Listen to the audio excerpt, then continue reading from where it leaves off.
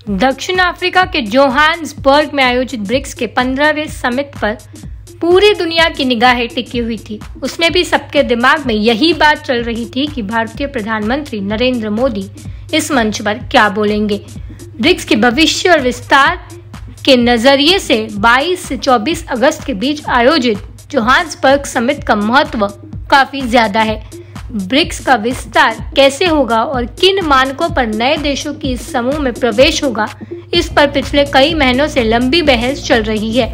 इस तरह का परसेप्शन भी बनाया जा रहा था कि भारत ब्रिक्स के विस्तार के विरोध में है और इस वजह से भी ब्रिक्स के बाकी देशों के साथ ही अमेरिका और यूरोप समेत पूरी दुनिया इस मसले पर प्रधानमंत्री नरेंद्र मोदी के मुख से भारत का पक्ष जानना चाहती थी। पंद्रहवें ब्रिक्स शिखर सम्मेलन को 23 अगस्त को संबोधित करते हुए प्रधानमंत्री नरेंद्र मोदी ने कई सारे मुद्दों पर भारत का पक्ष रखा।